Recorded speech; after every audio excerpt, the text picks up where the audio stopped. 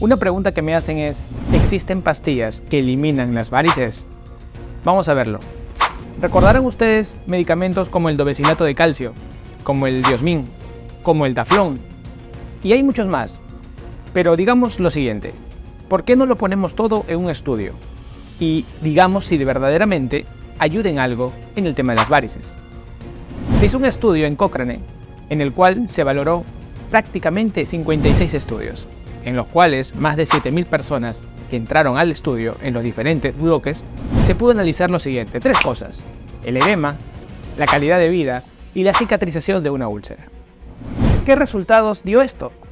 Todos los fármacos comparados con placebo, independientemente, lograron disminuir un poco el edema.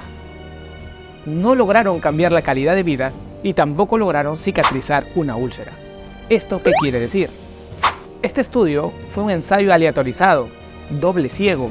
Quiere decir que dentro de la medicina, una buena valoración de evidencia. Y nos dice que los fármacos, ninguno de los que consumes, va a eliminar las varices. Por lo cual, ¿cuál es la recomendación?